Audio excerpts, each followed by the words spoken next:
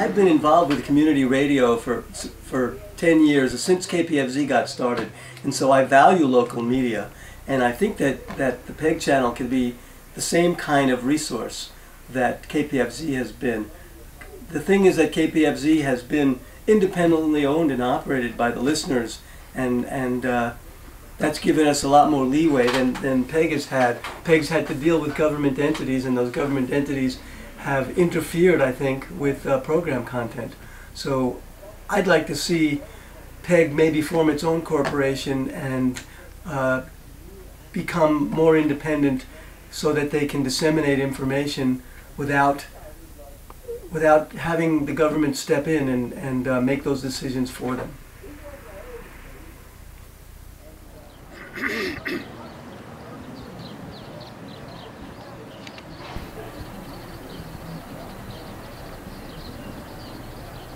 Public Access TV, or PUB, PEG, that's Public Education and Government Access TV.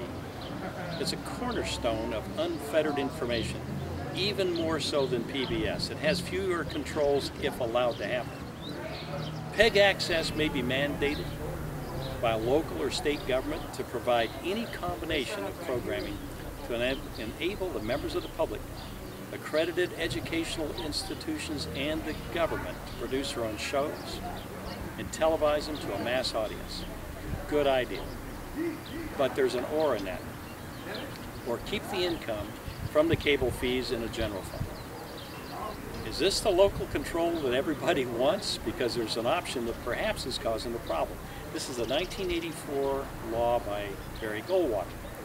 And I wonder if Barry knew really what he was doing, because it's caused a little bit of a problem.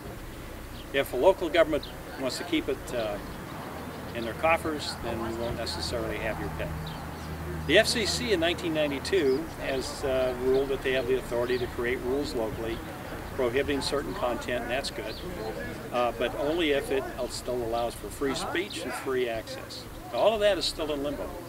And I go back to the history, you know, when I was in uh, McClatchy Broadcasting, I worked for them in the 60s, and I was a, a mainframe programmer, so a lot of this was being debated at the time about whether it should happen. And so PEG was being debated, and I listened to a lot of it. You fast forward to today, and you can see that there's been many rulings and there's been many challenges, and we have what we have, and perhaps it's time for a relook at having good, free access to what's going on in government for sure, education that's available to everybody, and the public involved in saying what they need to say from a free speech standpoint.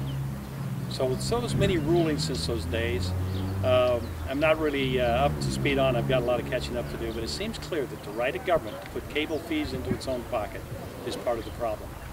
And maybe some controls that require respectful language are needed so that we don't have rebound from people who, who feel like uh, they're being disrespected.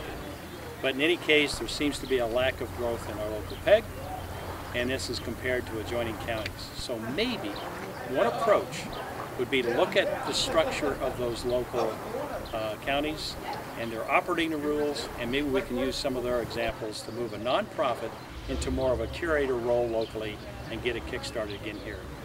Technology is changing, however, that may circumvent all of this problem with all the current rules with TV. Who knows tomorrow?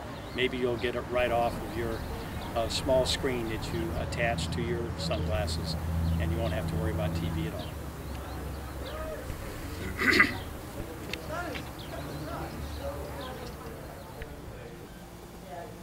Public Access, which is our local um, Mediacom Channel 8, uh, P stands for Public, E stands for Education, and G stands for Government uh, is uh, a project that I took on when I first became on city council uh, 10 years ago.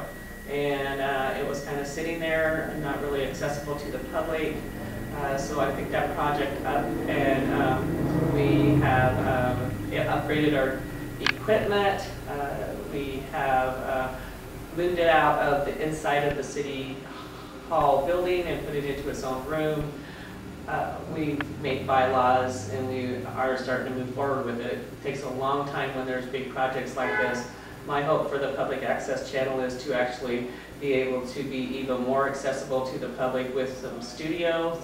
Um, if we're lucky enough that uh, the youth center was to be able to get the building where the old chamber was. We would love to be able to put the, some editing equipment in there and um, make it to where the public will be able to come in and edit their different uh, videos, be able to get them on the air faster because they'll have the equipment to do so.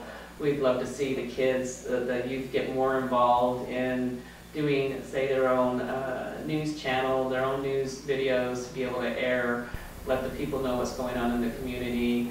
Um, in fact, this is being done for public, you know, by a public access person, producer. We'd love to see more of the community get involved. I don't believe that the community knows enough that they can put things on our public access channel. So hopefully that we can get more information out. Uh, need to raise some funds, so, you know, it'd be nice if people started donating more, but I think that the information needs to be out there a little bit more than what it has been. I think there needs to be more advertisement on that we have this public access channel and get the people more involved in it. Have some events to let them know what we're about, uh, show people how to do videos and make videos, show some of these, uh, people who have events, uh, don't know that they can videotape them and put them on the air. I- That, that type of information, I think, needs to be more, uh, in the public's eyes. Let them see what they can do and show them how to get it on the air.